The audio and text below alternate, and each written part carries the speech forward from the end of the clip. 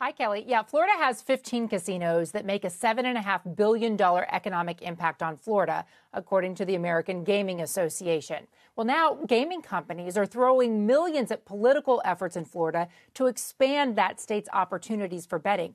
Currently, a deal made by Florida's governor allows the Seminole tribe, which owns the Hard Rock brand, a near monopoly in the state. But allowing more licensees would benefit operators like Penn National. It offers off track wagering north of Orlando. Las Vegas Sands has invested $17 million in a political committee to get initiatives on the state ballot asking voters to approve new casinos in their state.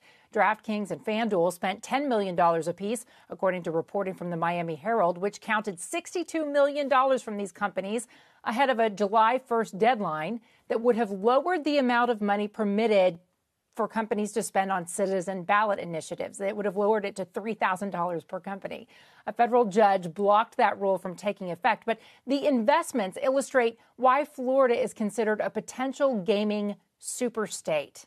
And joining us now for an exclusive and, by the way, her first ever interview on CNBC, Amy Howe, who has just been named interim CEO of FanDuel. And it's so great to see you, Amy. Congratulations. Thank you so much, Contessa. It's great to be here. And you're coming into the sports betting industry, which is dominated by men for men. What opportunities do you see both to expand leadership of women in this space and to appeal and cater to women as customers?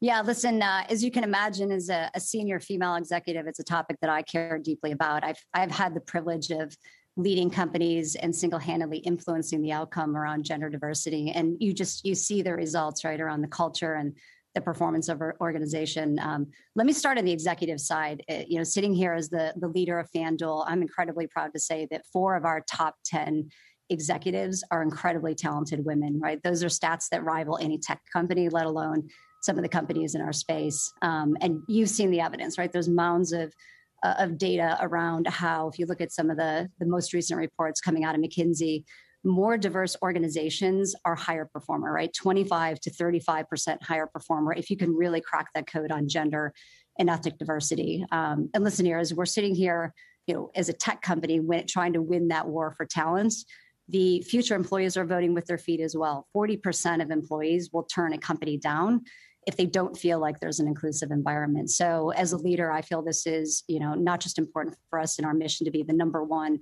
mobile gaming operator, but our success as an industry. Um, you know, to your question on the consumer side, it's a great one. Uh, a lot of that starts with our support of female athletes. You know, even before sports betting was legalized, we were supporting the WNBA for years. We've done some great things with women's soccer, uh, this year, we were the first company to offer bets for women's basketball and uh, March Madness.